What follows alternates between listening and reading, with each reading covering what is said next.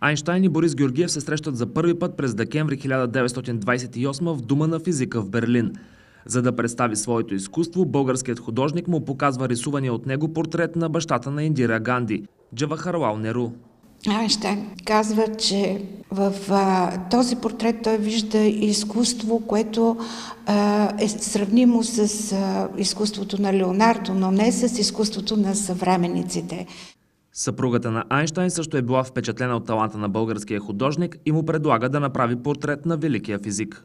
Борис Георгиев се озовава в дома на Айнштайн и започва да наблюдава работата на Айнштайн.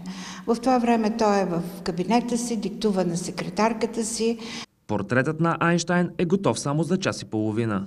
Айнштайн остава изумен от това, което вижда. Той казва как може да се постигне духовната същност на един човек, така както вие сте го направили. През 1929 година, по случай своят 50 годишен юбилей, Алберт Айнштайн изпраща на своите приятели по света отпечатъци именно от портретът, който му рисува Борис Георгиев. Айнштайн изпраща и писмо до своя вече любим художник. Вашето изкуство ме накара да се почувствам в ония сфери, дето далеч от земни неволи и страдания душата намира от мора. В градската галерия в родния град на Борис Георгиев, Варна, която носи името му, се съхраняват 13 негови творби. За битиви новините, Йордан Фотев.